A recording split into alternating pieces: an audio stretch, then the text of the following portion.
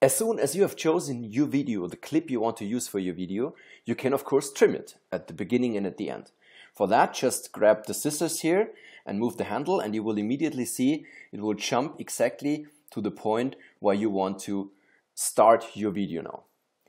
You can even play it. By this you can see if it fits, if it's really like you want it. And you can do this at the end of course. So Quite simple, quite easy. But sometimes uh, your source files are longer and then it's hard to find the right frame, the right position to start your video or to end your video.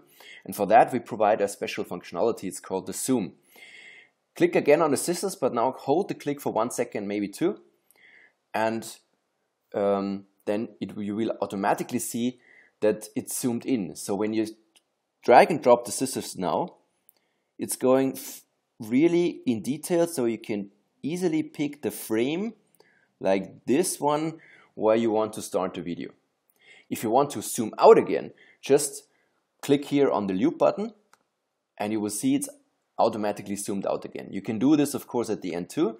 Grab the button, grab the scissors for one or two seconds, release your click and then you can click on the Lupe button or maybe somewhere else, not in the video, but somewhere else around, just click and you will see it's zooming back.